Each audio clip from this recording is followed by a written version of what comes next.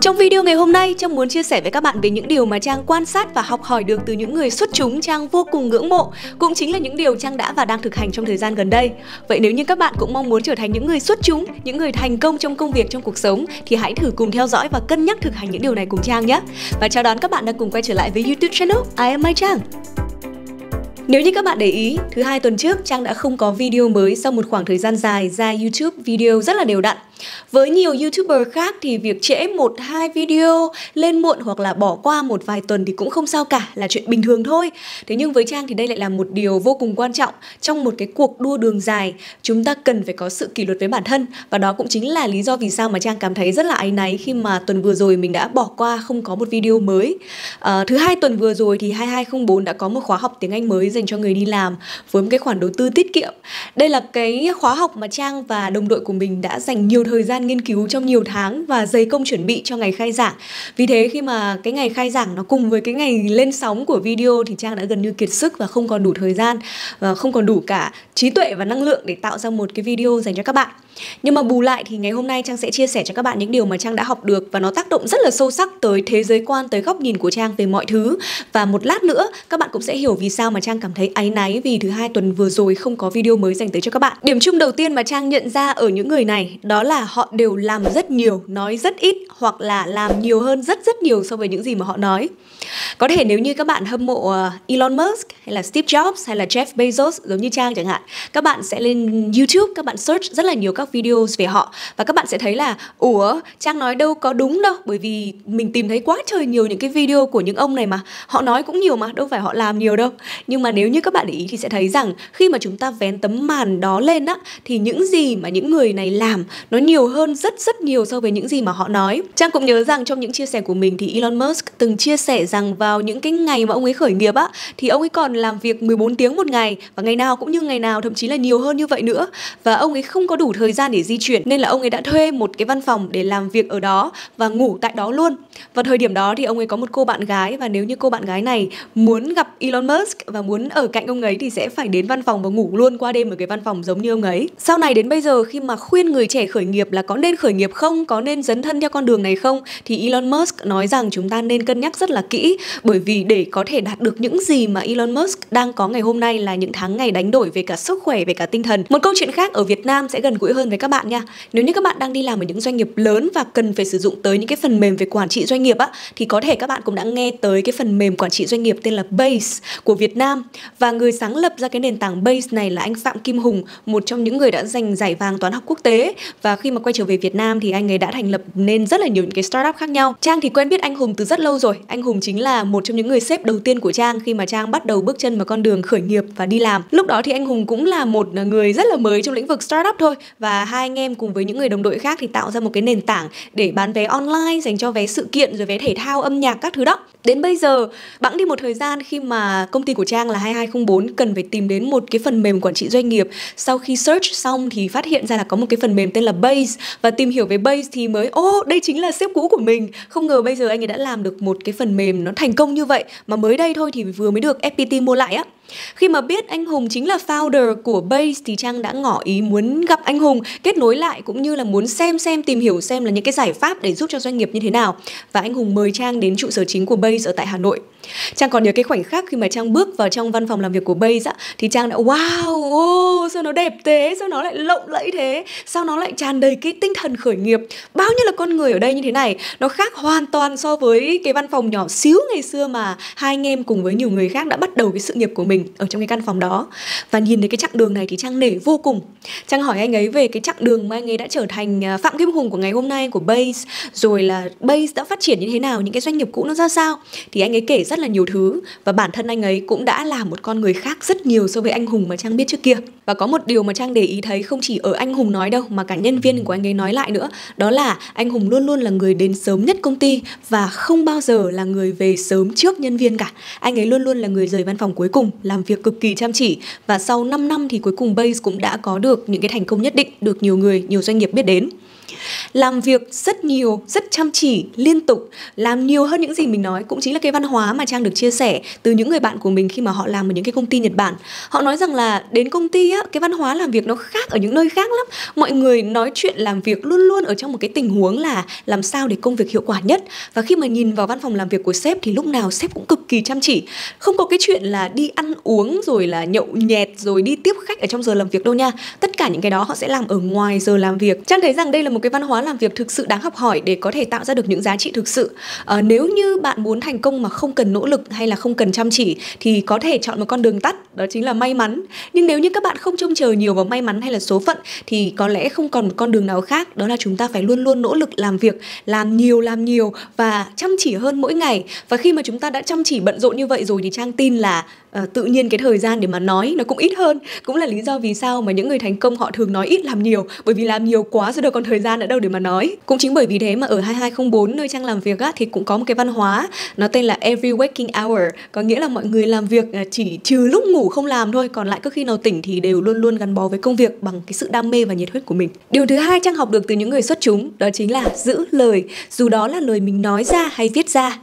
Ờ, với một cái người mà đã từng theo đuổi sự bay bổng và phù phiếm như trang á, thì giữ lời dường như là một cái gì đó ở một cái cực địa rất là xa và đối lập với cá tính của trang. Đặc biệt là với tính cách của những người mà hai ai ở trong DISC á, tức là điểm số ai rất là cao, thì việc giữ lời là một cái thử thách đối với họ. Không phải bởi vì họ là những người hay thất hứa đâu, mà đơn giản bởi vì họ rất là nhanh quên, cảm xúc rất nhiều, cho nên là khi có một cái cảm xúc mới đến thì những cái cảm xúc cũ nó sẽ qua đi, cuốn theo luôn cả những lời mà mình đã hứa. Nói như vậy không phải là để biện minh cho những người hai ai, đặc biệt là biện minh cho bản thân mình đâu mà ở đây trang muốn nói rằng là dù là lý do gì đi chăng nữa, thì việc mà chúng ta không đi đôi với cái lời nói của mình, hoặc là không giữ những lời nói của mình là một việc rất là đáng khiển trách và cần phải thay đổi trong một cuốn sách mà Trang đã từng đọc có tên là Four Agreements, hay dịch ra tiếng Việt là bốn thỏa ước, thì thỏa ước đầu tiên vô cùng quan trọng, nó có tên là Be impeccable with your words, có nghĩa là không được phép mắc sai lầm với những lời mình đã nói. Lời nói là một cái phản ánh của tư duy, của suy nghĩ. Các bạn cứ nghĩ rằng là lời nói gió bay, nhưng mà lời nói lại có cái tác động vô cùng lớn và vô cùng mạnh mẽ tới những gì mà chúng ta hành động. Giả sử bạn là một người rất là xinh đẹp, thế nhưng mà vì một cái trò đùa nào đó khiến cho bạn cảm thấy tự ti và bạn cứ mỗi ngày bạn nói với mình rằng là mình xấu xí thế nhỉ, mình có cái mũi này không đẹp, mình có cái hàm răng này không có đẹp, mình có cái môi này không có xinh. Và ngày nào mình cũng nhìn ra những cái điểm tiêu cực mình nói như vậy với mình á thì một khoảng thời gian ngắn sau thôi bạn sẽ thực sự tin rằng mình xấu xí. Dù người khác có nói rằng là bạn xinh đẹp bạn vẫn tin rằng mình xấu xí. Đó chính là sức mạnh của ngôn từ và đó là lý do vì sao mà trang luôn luôn chia sẻ với các bạn về cái tinh thần là hãy dùng những từ tích cực, hãy dùng ngôn từ tích cực ở trong cuộc sống để không bao giờ mình đưa bản thân mình vào những cái tình huống suy nghĩ tiêu cực do chính mình tạo ra. Giữ lời chính là biểu hiện của việc không mắc sai lầm với những gì mà mình đã nói. Nó có nghĩa là chúng ta đã suy nghĩ rất là kỹ trước khi chúng ta nói ra một điều gì đó, cân nhắc dựa trên khả năng của mình, mức độ hoàn thành công việc của mình để đưa ra một lời cam kết hoặc là một lời nói với một ai đó. Còn nếu như trong trường hợp chúng ta không làm được thì chúng ta cũng sẽ không nói là chúng ta không làm được. Thay vì chúng ta nhận rồi chúng ta lại không làm, hoặc chúng ta làm mà không đạt được những gì mà người khác mong đợi. Khi mà trang nhắc tới giữ lời, có thể các bạn đang nghĩ tới những thứ như là hứa hẹn một điều gì đó với ai đó, hoặc là thề thốt một điều gì đó, hoặc cam kết một cái gì đó nghe nó rất là cao cả. Và chắc chắn là khi mà mức độ cam kết nó cao, mình nói rằng là tôi hứa, tôi thề, tôi sẽ làm thì tất nhiên là cái trách nhiệm của mình nó sẽ đi đôi với đó cao hơn. Thế nhưng những cái này thì thường quá. Khi mà chúng ta nói tới việc giữ lời, có nghĩa là dù cả những cái thứ rất là đơn giản trong cuộc sống, chúng ta cũng giữ lời với nó ví dụ như khi mà chúng ta nói với bạn của mình là tối nay 7 giờ đi ăn nhé thì có nghĩa là chúng ta phải có mặt ở cái nơi ăn hoặc cái điểm hẹn trước 7 giờ. Đó chính là giữ lời. Còn nếu như mà đến muộn thì không phải là giữ lời rồi. Và nếu như nhiều lần lặp đi lặp lại thì nó sẽ tạo ra một cái thói quen không tốt và bản thân chúng ta trở thành một người mất uy tín và không còn là một người tự giữ lời hứa với bản thân mình và với những người khác nữa. Tương tự như vậy khi mà chúng ta nói rằng tôi cam kết rằng năm nay mỗi ngày tôi sẽ đọc một trang sách, mỗi ngày tôi sẽ đọc hai trang sách thì tôi cũng sẽ tìm cách để tôi đọc nó hết và dù có chuyện gì xảy ra thì tôi cũng cố gắng làm cho được nó. Và đây là lý do vì sao mà Trang đã cảm thấy rất là áy náy khi mà tuần vừa rồi Trang không có video dành tới cho các bạn. À, bởi vì đó là một cái lời cam kết mà Trang đã dành cho bản thân mình trước tiên và sau đó là dành tới cho các bạn Thế cho nên khi mà chúng ta phá vỡ cái cam kết này, có nghĩa là chúng ta đang tự hạ thấp cái tiêu chuẩn của bản thân mình xuống. Các bạn hãy thử thực hành điều này đi. Và nếu như mà các bạn có thể giữ được tất cả những cái lời nói của mình á và biến những lời nói của mình thành hành động thì Trang tin là không có một cái kế hoạch nào lập ra mà không đạt được kết quả hết. Bởi vì nói được, làm được, đó chính là những cái phẩm chất của người thành công. Điều thứ ba đó là hãy chỉ giữ lại những mối quan hệ chất lượng Trước kia Trang nghĩ rằng có nhiều mối quan hệ thì mới là oách, mới là oai, mới là quan hệ rộng, mới là khi mình cần chỉ cần alo lên là có nhiều người sẽ giúp đỡ mình.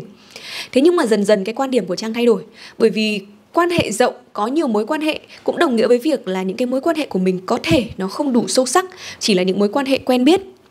các bạn hãy thử xem trên facebook của mình á trong khoảng 3.000, 4.000, 5.000 người bạn mà các bạn đang có thì bao nhiêu người trong số đó các bạn biết, các bạn thực sự nhớ họ là ai và các bạn quan tâm đến họ. Trang nghĩ là có thể chỉ dưới 200 người thôi. Hình như đây cũng là một cái con số thống kê của một ai đó đã từng đưa ra khi mà nghiên cứu về các mối quan hệ của con người thì phải. Mỗi một cái mối quan hệ mà mình có trong cuộc sống thì nó đều thể hiện một ý nghĩa hay là một giá trị nào đó. Ví dụ như các bạn có những người bạn để vui vẻ thì đó chính là ý nghĩa của sự vui vẻ, của việc chúng ta muốn xả stress. Có những người bạn như vậy cũng tốt nhưng nếu như các bạn muốn có một cuộc sống chất lượng hơn, thì chúng ta bắt buộc phải có những mối quan hệ chất lượng, những người mà có thể giúp đỡ chúng ta và khiến cho chúng ta trưởng thành hơn ở trong cuộc sống. Hoặc đôi khi các bạn cũng có những cái mối quan hệ mà à, nó khiến cho các bạn cảm thấy bao dung hơn. Đó là khi các bạn giúp đỡ họ, muốn họ trở thành những người tốt hơn. Mặc dù là có thể bản chất về lợi ích thì họ không cho mình cái gì hết. Thế nhưng các bạn vẫn muốn làm bởi vì các bạn muốn giúp đỡ họ và điều đó khiến cho các bạn cảm thấy hạnh phúc và vui vẻ. Có lẽ các bạn cũng đã quá quen thuộc với câu nói, bạn chính là trung bình cộng của năm người mà bạn bạn thân nhất. Vậy thì năm người mà bạn thân nhất dành nhiều thời gian nhất là ai? Họ có phải là những người giúp cho bạn tốt lên, hay họ là những người mà thường xuyên đưa bạn tới những cái cuộc tụ tập đàn đúng vui vẻ? Hay họ là những người như thế nào trong cuộc sống của các bạn? Hãy đánh giá lại và cho điểm lại những cái mối quan hệ của mình và lọc lại xem đâu là những mối quan hệ mà mình muốn giữ. Thế nhưng chỉ giữ lại những mối quan hệ chất lượng thì chưa đủ để khiến cho cuộc sống của chúng ta tốt lên đâu. Bởi vì cũng là những người tốt, nhưng mà chỉ giữ ở một mức độ ngang nhau thì nó cũng khiến cho cuộc sống của chúng ta đi ngang chứ chưa đi lên được. Vậy để có thể khiến cho cuộc sống trở nên thực sự chất lượng hơn và mình trưởng thành hơn thì các bạn còn cần phải dám làm quen với những người mà có cuộc sống chất lượng hơn cả mình, hơn mình rất nhiều, đẳng cấp hơn mình rất nhiều nữa. Cái này không phải la liếm nha, Mà ý của Trang ở đây là Nếu như các bạn muốn học hỏi được những thói quen tốt của những người tốt, Nếu như các bạn mong muốn có thể phát triển bản thân tốt hơn nữa, Thì việc mà chúng ta nên làm Đó chính là kết bạn với những người giỏi hơn mình Và học hỏi họ ở những điểm mà họ thực sự vượt trội hơn. Khi mà chúng ta có một sự chân thành Thì những người như vậy cũng sẽ sẵn sàng để chia sẻ lại cho chúng ta mà thôi. Dan Lok là một người khá là thành công trong việc chia sẻ những cái kinh nghiệm làm thế nào để có thể bán hàng xa xỉ dành tới cho những người giàu có. Ông ấy cũng là diễn giả của TED hay là đã từng được trang tạp chí Forbes đăng tải những cái bài viết. Thì ông ấy có chia sẻ rằng vào những cái năm tháng đầu tiên khi mà khởi nghiệp á, ông ấy đã xác định rằng ông ấy sẽ bán hàng cho người giàu rồi. Vì thế cho nên là có một thứ ông ấy đã đầu tư, chính là đầu tư nhiều tiền để đi cà phê ở những quán cà phê của khách sạn năm sao không phải vào đây để có cảm giác sang chảnh hay là áp hình, hay là áp hình sống ảo lên mạng xã hội và khoe là ta đây giàu đâu, mà là để quan sát những người cũng vào đây, sử dụng dịch vụ năm sao, uống những tách cà phê năm sao, họ có cái thái độ như thế nào, phong cách làm việc ra sao và họ thường quen biết những ai từ đó thì ông ấy học hỏi, để ông ấy dần dần tự biến bản thân mình trở nên có giá trị và có một cái phong cách giống như những người giàu có đây có thể là một à, gợi ý cho các bạn để đến quán cà phê 5 sao và học hỏi, thay vì chỉ đến đó để chụp ảnh check-in. Và điều thứ tư đó là cực kỳ cực kỳ khiêm tốn. Đây là một phẩm chất mà trang nghĩ rằng có thể chúng ta sẽ mất cả đời để mà học hỏi và rèn luyện, bởi vì rèn luyện bao nhiêu cũng là không đủ. Nếu như mà chúng ta tự đánh giá lại cái khả năng khiêm tốn của mình, mức độ khiêm tốn của mình và thấy rằng là à mình cũng khiêm tốn ra phết rồi đấy chứ, thì khả năng cao là chúng ta chưa khiêm tốn đủ đâu. Khiêm tốn cũng là phẩm chất của một nhà lãnh đạo cấp độ 5 ở trong cuốn sách Good to Great, từ tốt đến vĩ đại mà Trang cũng đã từng chia sẻ với các bạn. Phẩm chất của những người lãnh đạo này đó là khi mà họ đã cống hiến rất nhiều cho một công ty, khiến cho công ty đó thoát khỏi bờ vực phá sản hoặc là đưa công ty đó trở nên rất là thành công. Thì khi được hỏi làm thế nào để họ có thể thành công như vậy, họ không bao giờ nhận cái thành công đó về mình, mà luôn luôn cảm ơn những người khác, cảm ơn đồng nghiệp, cảm ơn công ty, cảm ơn đối tác, cảm ơn khách hàng. Và họ luôn luôn nghĩ rằng cái sự đóng góp mà mình mang lại nó còn vô cùng nhỏ bé so với thành công mà công ty đang có, thậm chí nó không là gì cả.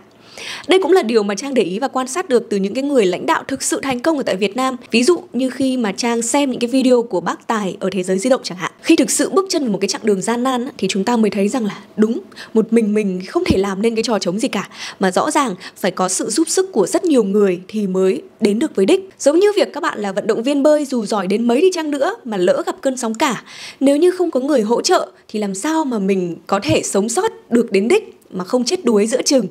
Nếu như mà không có người quăng cho mình cái phao á, thì làm sao mà mình sống được? Nếu như không có người thì thào vào cái tai của mình là, cố lên cố lên, sắp đến nơi rồi. Thì làm sao mình đi được qua cái con sóng cả đó? Làm sao mình vượt qua được những cái gian nan thử thách đó? Thực sự khi mà bước chân vào cái chặng đường khó khăn lắm lắm rồi á, thì các bạn mới thấy rằng là cái giá trị của bản thân mình nó nhỏ bé lắm. Mà nếu như không có sự giúp sức của những người khác thì quả thật là mình không thể nào đi được đến đích thành công. Có một người bạn của trang á, trang cũng rất là ngưỡng mộ và người bạn này giúp đỡ trang rất là nhiều, đã từng à, có một cái câu nói mà trang rất thích, đó là trong cuộc sống, để thành công không cần biết nhiều, chỉ cần biết ơn và thực sự, khi mà chúng ta biết ơn thì chúng ta vừa hạnh phúc hơn mà cuộc sống lại vừa giàu có hơn. Cũng chính vì lý do này mà có lẽ nếu như các bạn để ý, các bạn sẽ thấy là trong nhiều tháng trở lại đây rồi, trang đã không còn làm video dạng là làm như thế nào nữa. Hoặc nếu có thì nó cũng đi từ những cái chia sẻ, những cái trải nghiệm của trang, kèm thêm với những gì mà trang học hỏi được để giúp cho các bạn có thể có một cái góc nhìn khác về sự vật, về cuộc sống, về một hiện tượng nào đó.